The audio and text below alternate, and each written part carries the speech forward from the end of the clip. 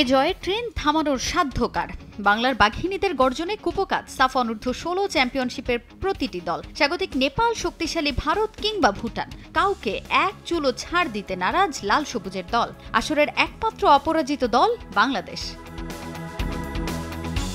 এবারে টুর্নামেন্টের favourite team ইন্ডিয়াকে তিন এক ব্যবধানে হারিয়ে ফাইনাল নিশ্চিত করলেও জয়ের ক্ষুধা মেটেনি সাইফুলবাড়ি টিটু শিষ্যদের। নিতান্তই নিয়ম রক্ষার ম্যাচটাতে ভুটানের জালে গোল উৎসব করে আন্তর্জাতিক নারী দিবস উদযাপন করল প্রীতি আলফি সাথীরা।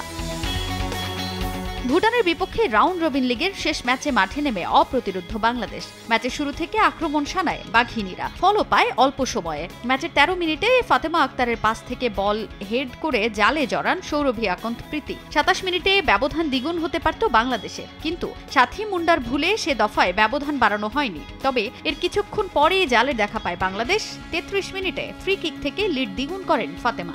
এই গোলের রেশ কাটতে না কাটতেই ব্যবধান তিন শূন্য করে লাল সবুজের প্রতিনিধিরা। ফাতেমার পাস থেকে স্কোর করেন ক্রানুচিং মার্মা। তিন শূন্য ব্যবধানে এগিয়ে থেকে প্রথমার্ধ শেষ করে বাংলাদেশ।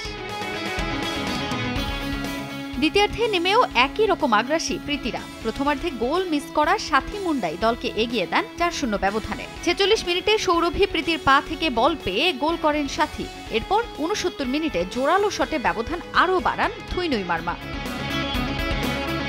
সাতাত্তর মিনিটে দারুণ শটে বল জালে জড়িয়ে ম্যাচে নিজের দ্বিতীয় আর আসরের পঞ্চম গোলের দেখা পান সৌরভী আকন্ত প্রীতি। পুরো ম্যাচে তেমন কোনো প্রতিরোধই করতে পারেনি ভুটান। শেষ পর্যন্ত ছয় শূন্য ব্যবধানের বিশাল জয় নিয়ে মাঠ ছাড়ে বাংলাদেশ অনূর্ধ্ব ষোলো নারী দল। তাজিন খন্দকার, সময় সংবাদ।